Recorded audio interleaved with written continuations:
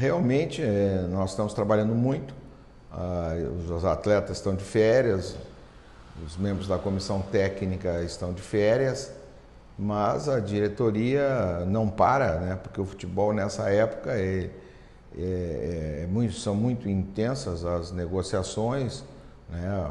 e realmente nós mantivemos, é, fizemos uma análise muito criteriosa com o treinador ah, Paulo Baia, ah, renovamos a maioria dos atletas, praticamente 90% dos atletas que nós gostaríamos que permanecesse no ano de 2023. Né? A única, o único atleta que nós não conseguimos renovar em função de uma pedida fora da realidade financeira do Botafogo foi com o goleiro David, né? Mas os restantes dos atletas que tinham seus contratos encerrados uh, renovaram, né? Como o Rafael Pascoal, o Vidal, o, o Jean Vitor, o Tarek, o Mantuan, né? o, o, o, enfim, o Xuxa, Gustavo Xuxa. Já tínhamos também um contrato para o próximo ano, o Gustavo Henrique, né, o, o Felipe Souto, o Salatiel e Marcel, então, enfim.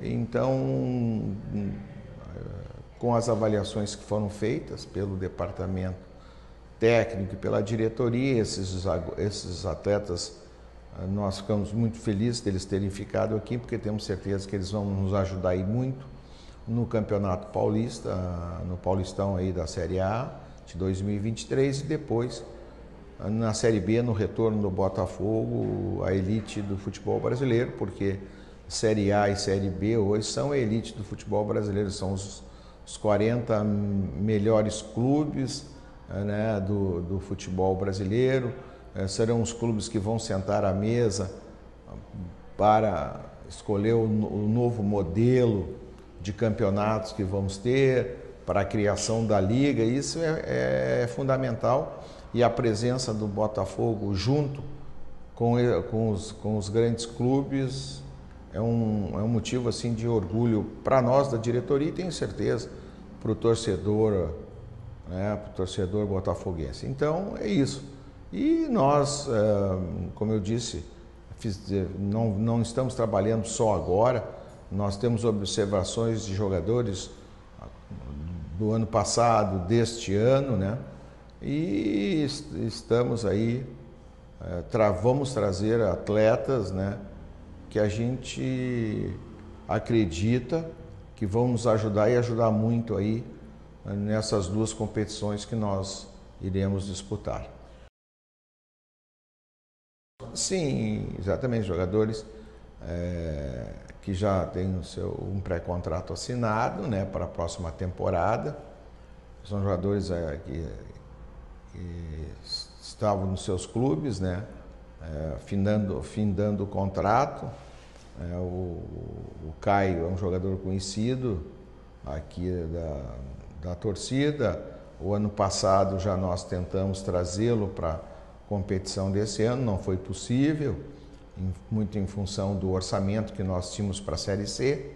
Agora o jogador, e é importante ressaltar, também fez questão de vir para jogar no Botafogo, abrindo mão até de valores para que jogasse aqui no clube. Né? O Osman é um jogador que se destacou, um jogador que é, jogou também na, em grandes clubes do futebol brasileiro, em Série A, Série B. Foi, um dos destaques né, do, do, do Mirassol na conquista aí da Série C. E também tivemos aí sucesso ah, na, na, na sua contratação. E o David, o David é, é um jogador que jogou, jogou no São José, jogou no Vitória de, de Guimarães, né? esteve em Portugal, um jogador que, que foi escolhido é, na temporada passada, se não me falha a memória, é, o, lateral esquerdo do, do Campeonato Gaúcho, ou dois anos atrás, mas foi um jogador que o Paulo Baier conhece, foi uma indicação do Paulo Baier, um jogador que tem uma característica diferente uh, ao Jean Vitor, né? O Jean Vitor é um jogador que tem uh, muita qualidade, muito apoio. Já o David é um jogador que marca mais, é um jogador mais de marcação, enfim. A gente está tendo muitos critérios, né? E ouvindo a comissão técnica, ouvindo o nosso treinador, é, para que a gente possa fazer um, um plantel aí equilibrado. Nós devemos trabalhar com 25, 26, 27 jogadores. Né? Nós temos alguns casos ainda que estão pendentes. Né? O jogador Caetano está emprestado ao, ao Red Bull, tem um valor do passe estipulado. Se o Red Bull fizer a opção da compra, né? o, Caetano, evidentemente, que vai ficar no Red, no Red Bull Bragantino. Mas se porventura o, o, o, Red Bull não fizer a opção de compra, o Caetano retorna por Botafogo e vai ser reintegrado ao, ao, futebol, ao plantel profissional e vai estar tá, e vai ser vai nos ajudar muito, vai ser muito útil também, porque é um jogador que cresceu muito, nós acompanhamos ele, foi finalista da sub-23, né? é, foi titular todo o período lá no, no, Red Bull, então nós também estamos aguardando aí é, essa, essa situação desse atleta que, que, que, é, que está emprestado com um passe fixado, aí vamos aguardar o, quais serão, o que, que vai acontecer até o dia 31 de dezembro em relação ao Caetano. Então, e temos outros atletas já, já temos aí é, o goleiro que está jogando, joga ou está jogando no, no, no, seu, seu clube atual, que o contrato dele termina no final agora de 2022, já tem um pré-contrato conosco. É, e temos aí também um zagueiro que nós estamos trazendo de, de Portugal, que também já está com pré-contrato, que nós iremos anunciar. Né? E, e aos poucos a gente está fazendo e aos poucos a gente está fazendo a montagem da equipe com muito critério. E quando nós iniciarmos a temporada no dia 21, quando a comissão técnica, que vai ser toda ela apresentada no dia 21, né? Eh, nós vamos ter uma reunião com a comissão técnica às 10 horas da manhã. Ah, mas eu digo assim, dia, nós, essa reunião vai ser para planejamento, exames médicos, enfim, a organização de todo o que, que vai acontecer nos dois primeiros dia, dias aqui, que é 21 e 22, que são, já, já, nós já sabemos né, é, o que, que os atletas irão, vão ser entregues para o departamento médico para fazer todos os exames necessários, né? E depois a partir do dia 23, os jogadores vão realmente iniciar a, a parte física, a parte técnica para a estreia da, na competição, que nós não temos ainda a, o dia e a hora, mas sabemos que entre 14 e 15 de janeiro deverá, deverá iniciar o Campeonato Paulista. Nós temos uma reunião no dia 1 agora na terça-feira nós estaremos junto com o presidente Adalberto Batista na Federação Paulista, às 10 horas da manhã, para a reunião do Conselho Arbitral e aonde também vai haver o sorteio das chaves. Então, mas o Botafogo está se preparando, está se organizando e a gente espera fazer um, um grande paulista e, e, estar com uma equipe forte para representar e, e bem o Botafogo e a cidade de Ribeirão Preto no Campeonato Brasileiro da Série B de 2023. Olha, nós realmente nós, nós estamos fazendo algumas reformulações, né?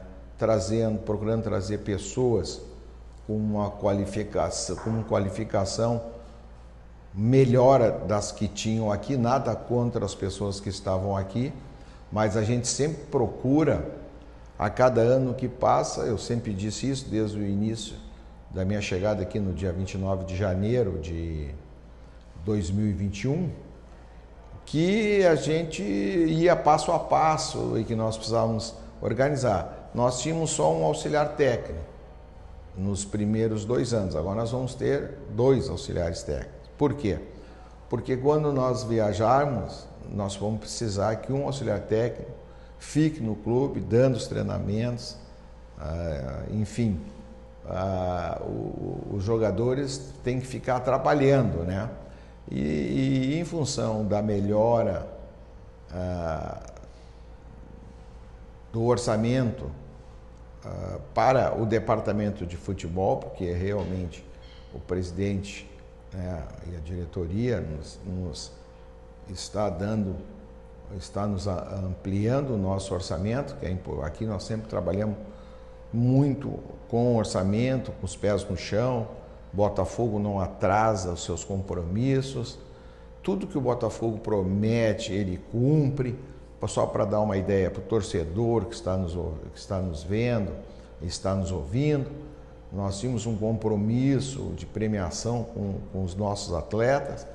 Eles subiram no, dia, no domingo, no, no, lá em Volta Redonda, no jogo contra Volta Redonda. Nas quinta-feira seguinte, a premiação já estava na, na conta de cada profissional, cada jogador. Então, é isso que o Botafogo faz. Às vezes o pessoal reclama, o pessoal acha que tem que gastar mais. Não. Ninguém pode gastar, dar o passo maior que a perna. A gente tem que gastar dentro da realidade que nós temos. É isso que nós estamos fazendo.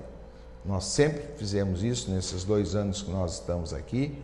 Nós estamos indo para o terceiro ano de trabalho no departamento de futebol e estamos evoluindo. Então, esse ano nós vamos trazer profissionais mais qualificados na preparação física, na, na como auxiliar técnico. Né? Nós vamos melhorar mais ainda a área de fisioterapia, nós vamos melhorar mais ainda a área médica, né? porque são áreas que são importantes, né? de recuperação de atletas, né, de atendimento ao atleta. Então é isso que nós estamos fazendo, né? Nós, uh, uh, por isso é que está havendo essas mudanças e eu tenho certeza que os profissionais que vão chegar aqui vão acrescentar mais a, aos que estavam aqui. Nós agradecemos aqueles profissionais que trabalharam conosco, não temos absolutamente nada é só que isso são. Tudo tem um momento de início, meio e fim. Chegou o momento, né? Da, eles, uh, nós agradecemos os profissionais, os profissionais não deixaram de receber nada daquilo que tinham direito a receber, mas só que nós estamos partindo para trazer uh, profissionais com mais qualificação, mais preparados, é, cientificamente também, com cursos, entendeu? Com metodologias novas de trabalho dentro da nova realidade que nós queremos para o Botafogo. Em primeiro lugar, o Botafogo já se expressou em nota da direção, da diretoria, e é, é importante também para a gente esclarecer o, o, o torcedor. Nós não abrimos mão da disciplina. Esse caso tem dois viés. Tem o viés de, de, da disciplina do regulamento interno do Botafogo e tem o viés da justiça. O Botafogo, como eu disse, não apoia, é, é, condena com toda a veemência o, o fato a agressão, se houve a agressão, quem vai dizer é a justiça. As pessoas vão ter agora ali, os atletas, é, o seu momento de defesa, o seu momento é, de dizer o que realmente aconteceu. O fato da indisciplina no Botafogo está caracterizado. Cinco atletas de forma indevida, de forma irregular, sem autorização do treinador, do supervisor ou do diretor saíram do hotel.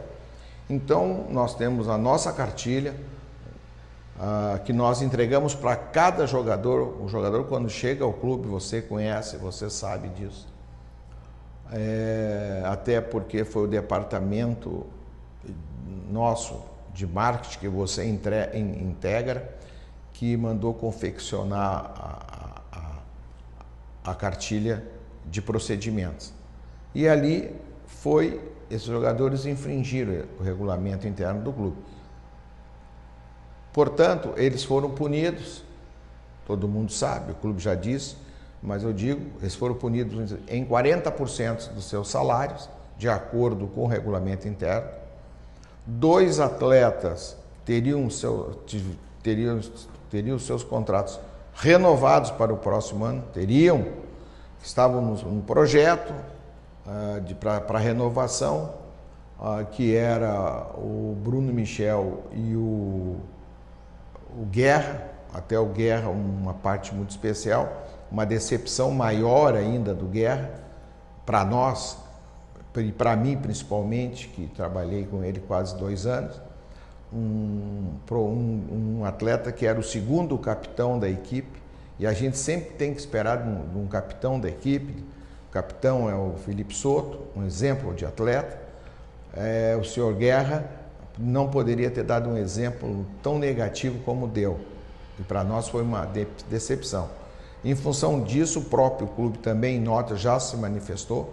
Esses dois atletas, Bruno Michel e Diego Guerra, não terão seus contratos renovados. Agora vão chegar ao final ah, dos seus contratos, eles vão receber tudo que tem direito no Botafogo, mas na a camisa do Botafogo eles não vestem mais. E o atleta Delgado já foi rescindido o seu contrato lá atrás, é o Dudu, que é um menino criado dentro do Botafogo, e o João Diogo, que tem contrato até eh, maio de 2023, nós estamos analisando, nós estamos vendo a situação, mas eu posso garantir para o torcedor do Botafogo, esses dois atletas, a camisa do Botafogo não vestem mais. Isso aí, enquanto eu estiver aqui, eu não abro mão da disciplina. O presidente nos apoia, também é uma pessoa que não abre mão da, da, da disciplina. Então é isso que eu posso te dizer, respondendo a tua pergunta e a dos torcedores do, do Botafoguense que querem saber, queriam uma posição do departamento de futebol é essa. Esses jogadores, mesmo com o contrato em vigor, não vão vestir. Nós encontraremos solução ou eles vão para algum outro clube, ou vai ter o contrato rescindido, mas jogar no Botafogo, mas eu deixo claro, eles não estão saindo do Botafogo pelo problema da justiça. O problema da justiça, a justiça vai jogar, eles vão se defender, é, é um, é um fórum, é outro fórum. Eles, estão, eles não estão vestindo a camisa do Botafogo pela indisciplina de ter saído do hotel sem autorização do treinador, do, diretor, do supervisor e do diretor. Então, isso, isso é um problema interno do Botafogo, que jogador que não tem postura, funcionário que não tem postura, e que não cumpre as regras do Botafogo, eles não ficam no Botafogo.